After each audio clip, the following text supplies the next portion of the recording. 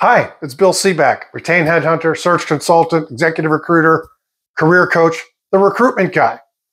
I'd like to tell you about one thing that you can do today, right now, to be recognized as a better employee.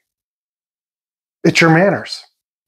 Be polite and be nice to everybody that you meet today.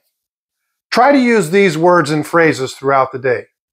Please, thank you, you're welcome, pardon me, excuse me, I'm sorry, may I help you? I would like, may I please have?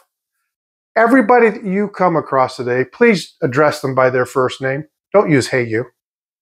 If you found this video to be helpful, please like and subscribe. I'd love for you to have an awesome day. I'd love to hear your comments. Talk to you next time.